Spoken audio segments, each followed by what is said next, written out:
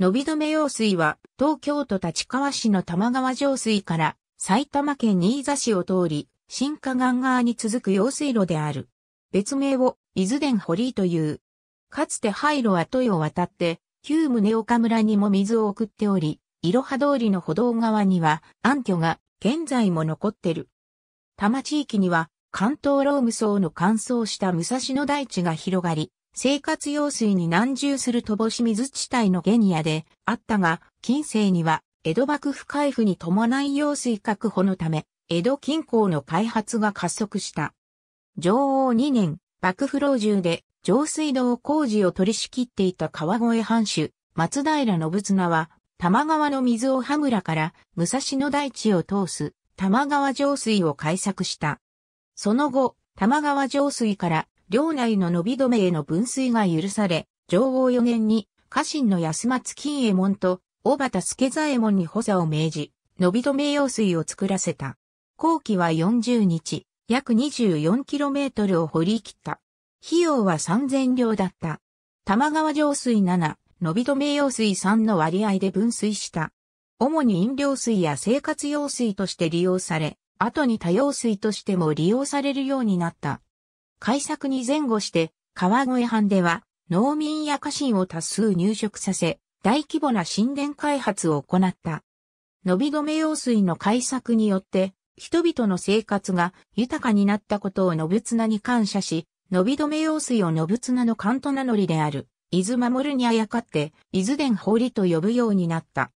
新座市立野寺小学校の校歌には、恵みの水よ伊豆堀よという歌詞があるほか、田市立小学校でも、知恵伊豆の流れを組んで、と、信綱の人柄や、工学心を歌詞とした校歌が歌われている。また、東村山温度の5番の歌詞には、言わず語りに、伊豆と登りよ、それやれそれとあり、東京都側でも歌われている。新座市西堀一丁目付近で、平林寺へ分岐する平林寺堀が分かれる。現在は、関越自動車道を掛け問いで越えている。新座市のび止め付近から四季駅周辺は暗渠となっている。1947年8月、降水量不足で用水の流量が極端に低下した。これに対して、下流側の大和田町、四季町の農民が、上流側の小平町、清瀬村川の農民が、用水のせき止めを行っているためとして反発。地域の水利用組合の交渉により調停が試みられるも決裂し、対立が続いた。戦後に入り生活様式が変化すると、伸び止め用水は次第に本来の役割を失い、次第に生活排水が用水に入るようになる。特に1963年以降は、周辺の宅地化が進行したため水質汚染が激しくなった。1964年、関東地方が干ばつに見舞われたために、東京が水不足となり、分水が一時中止される。1966年、再度通水されるようになるが、水量が制限されたため水質汚染は改善されず、1973年には東京都の水事情の悪化によりついに玉川上水からの取水が停止。以降、用水路の暗渠化が進んだ。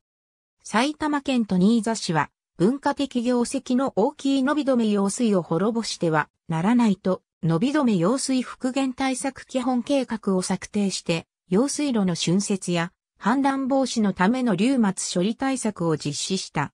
一方東京都は1974年に、伸び止め用水を歴史環境保全地域に指定し、清流復活事業により1984年、高度処理水を使用して水流が復活した。流域に住むボランティアによる清掃活動もしばしば行われる。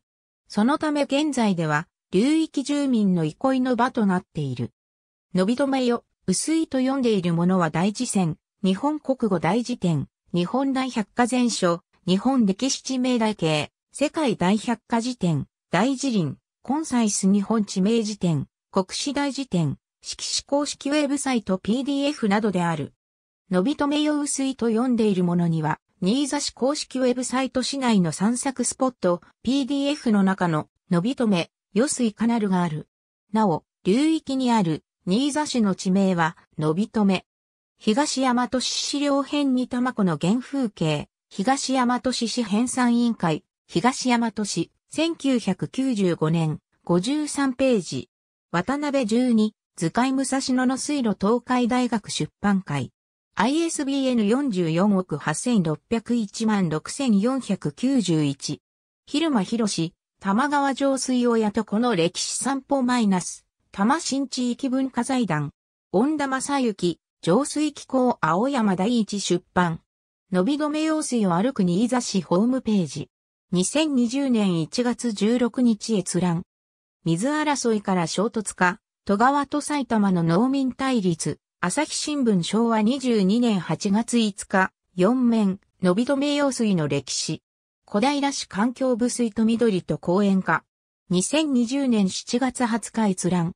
東大和市資料編に玉子の原風景。東大和市市編纂委員会。東大和市。1995年。54ページ。一のび止め用水歴史環境保全地域。東京都環境局。2020年7月19日閲覧。